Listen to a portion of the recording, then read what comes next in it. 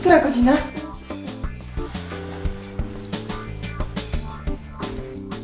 Osiemnasta trzydzieści. Spoko, masz jeszcze dużo czasu. Gdzie pójdziecie?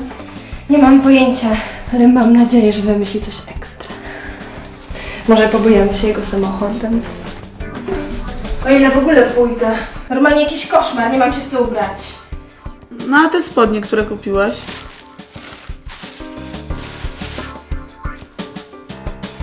Przecież są ekstra. Będziesz nienormalna, jak ich nie założysz.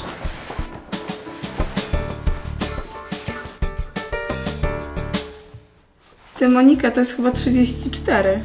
A ty nosisz 36. Oj, bo chciałam wyglądać szczupło. Zapnę się. Już raz mi się udało. Jezu, jaka śliczna. Monika, mogę przymierzyć?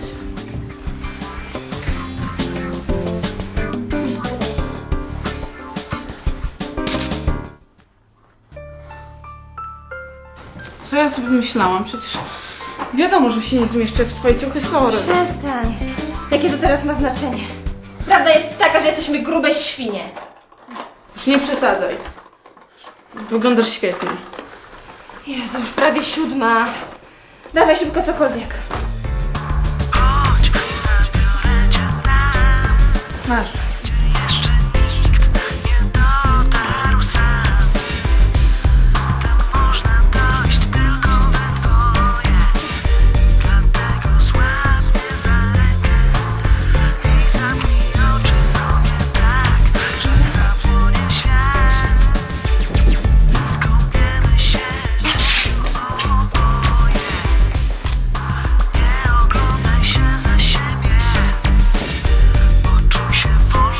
Baw się dobrze.